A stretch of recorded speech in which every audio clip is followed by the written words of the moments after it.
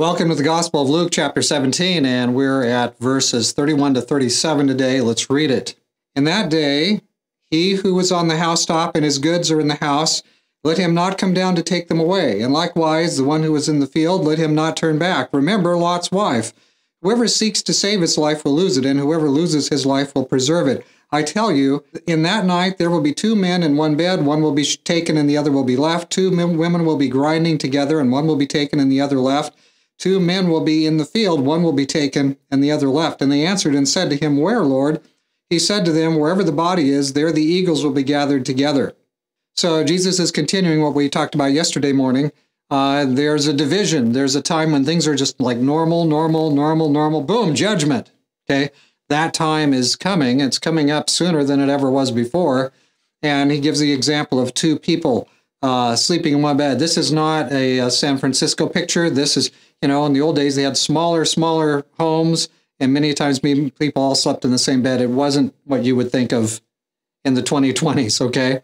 Uh, but anyway, there's two together and there's a division. One is taken, one is left, okay? There's two people working, you know, and among the machinery. One is taken, one is left. This, this kind of a picture.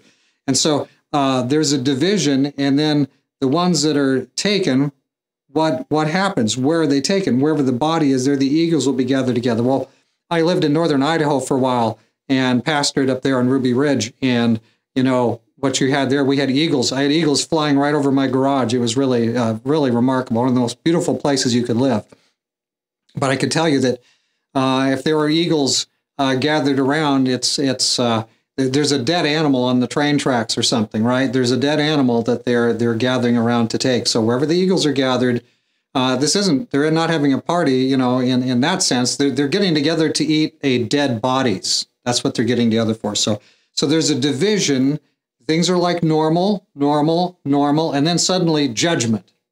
There's a division, and then there's those that are left alive and those that are left dead. So so that's the kind of picture Jesus is teaching here that there comes a time when everything that's uh, it's all continued the same from the beginning. You know, it come, comes a time when that business goes away and there is a intervention, there is an absolute judgment. So Jesus is warning then, he's warning people, hold on tight.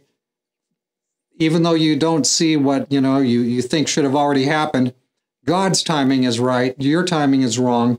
Hold on tight. When the time comes and it's it's coming way coming way closer today, isn't it? Don't you think? There's a time coming when God will intervene. So, friends, let's you and I, let's us be right with God. Let's pray.